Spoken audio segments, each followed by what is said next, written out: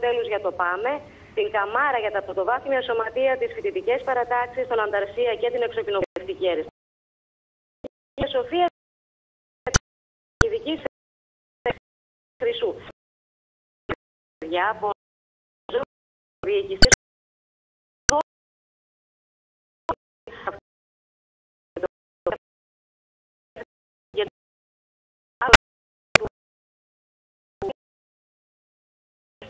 Türkiye